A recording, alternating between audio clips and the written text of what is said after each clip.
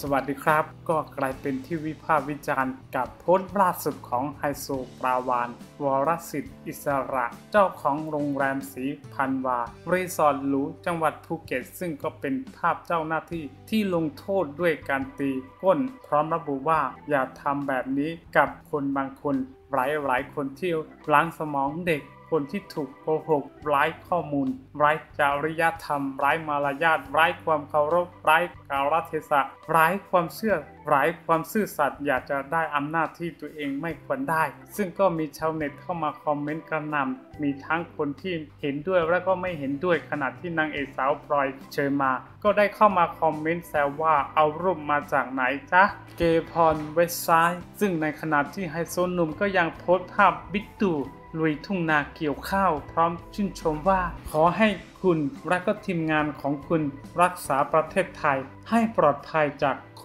วิด -19 ปัญหาโลกมีเยอะแยะอยู่ เพราะว่าแล้วทำไมไม่นั่ง นิ่งๆ แล้วแก้ปัญหาโลกก่อน แทนที่จะมาอยากเป็นใหญ่เป็นโตนะตอนนี้ปัญหาที่เราต้องการแก้ไขการก็ธุรกิจก็เยอะแยะไปหมด แล้วมานั่งบล็อกถึงกับทำไม วะทำไมรถติดเกาะแกะ อยากจะประท้วง